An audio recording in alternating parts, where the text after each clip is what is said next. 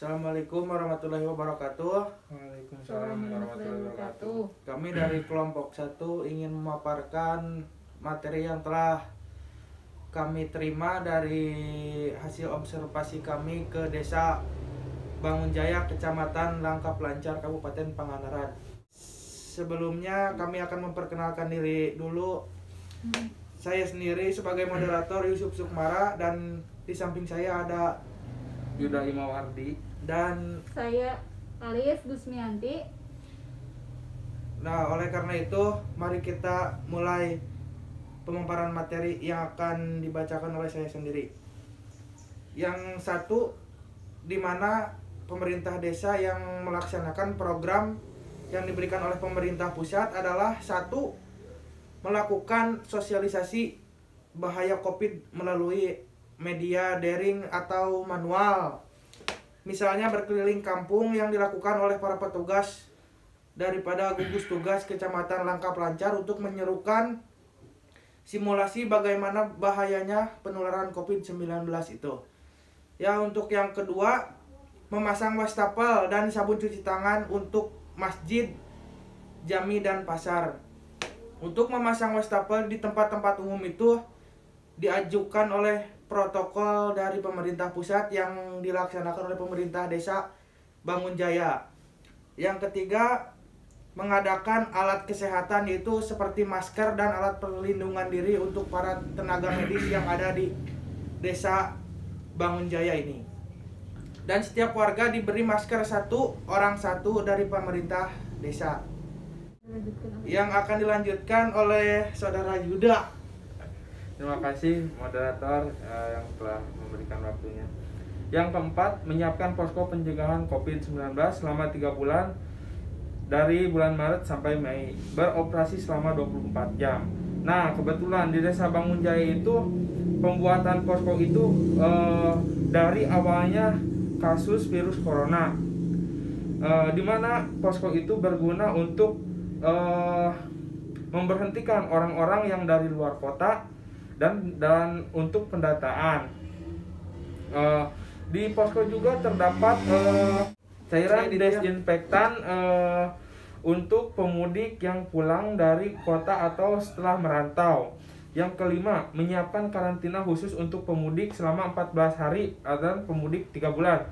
Untuk di daerah Bangun Jaya, eh, tempat isolasi itu dilakukan di sekolah yaitu di SMPN 1 Langkap Lancar di mana di, di SMP Negeri 1 Langkap Lancar itu terdapat beberapa eh, ruangan yang disediakan oleh pemerintah Desa Bangun Jaya untuk eh, isolasi isolasi eh, yang ditujukan kepada para pemudik atau yang pulang kampung. Yang keenam, penyemprotan desinfektan di sarana umum. Hal ini sudah dilakukan beberapa kali oleh pemerintah Desa Bangun Jaya. Setiap setiap eh, tempat peribadatan, eh, peribadahan eh, seperti masjid, madrasah, dan rumah-rumah warga pun eh, terus eh, disem- diberikan semprotan dan desinfektan tersebut. Yang ketujuh, Pemerintah Desa Bangun Jaya membantu menyalurkan bantuan sosial provinsi Banprop, Himbara, BST Pos, dan sembako dari kabupaten. Hal ini dilakukan oleh kepala desa dan beserta jajarannya di kantor Desa Bangun Jaya yang bertempat di kantor Desa Bangun Jaya. Yang selanjutnya akan dijelaskan oleh saudari Ali. Eh, untuk yang selanjutnya kebijakan eh, yang dibuat oleh pemerintah desa Bangun Jaya. Yang pertama adalah menyiapkan dan menyalurkan dana untuk BLT desa untuk masyarakat yang terdampak dan tidak mendapat bantuan dari pemerintah. Nah, sumber da- sumber dananya ini sebesar 35% dari jumlah dana desa realisasi sekitar 25%. Jadi eh, BLT ini disalurkan untuk orang-orang yang eh, pekerjaannya atau ekonominya sangat terdampak eh, oleh adanya pandemi ini. Yang kedua yaitu menyiapkan dan menyalurkan anggaran untuk belanja alat kesehatan sebesar 5% dari jumlah dana desa.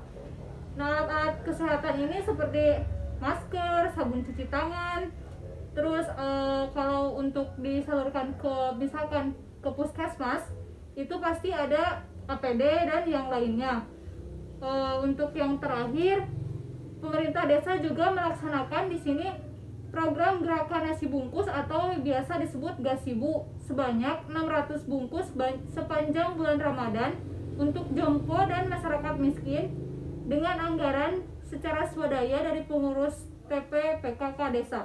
Nah, biasanya di sini yang memasaknya yaitu ibu-ibu PKK nanti ketika sore-sore menjelang akan berbuka puasa karena bulan Ramadan baru dibagikan.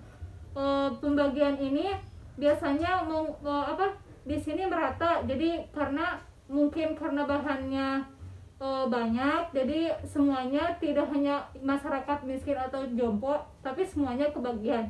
Seperti itu. Jadi eh, kesimpulannya pemerintah Desa Bangun Jaya sudah melaksanakan eh, himbauan-himbauan dan pencegahan-pencegahan eh, untuk eh, virus corona ini. Pelaksanaan kebijakan-kebijakan tersebut itu sudah dilakukan secara eh, baik ya oleh pemerintah Desa Bangun Jaya eh, dengan mengadakan salah satu posko dan tempat isolasi serta eh, bantuan-bantuan yang diberikan pemerintah daerah untuk masyarakat-masyarakat yang ada di Desa Bangun Jaya. Demikian pemaparan dari kelompok kami. Bila mana ada kesalahan mohon dimaafkan mengingat bahayanya pandemi ini kita harus galakan hidup sehat. Yang pertama harus pakai masker Cuci tangan. jaga jarak dan, dan di rumah aja. Assalamualaikum warahmatullahi Warahmatullahi wabarakatuh. wabarakatuh.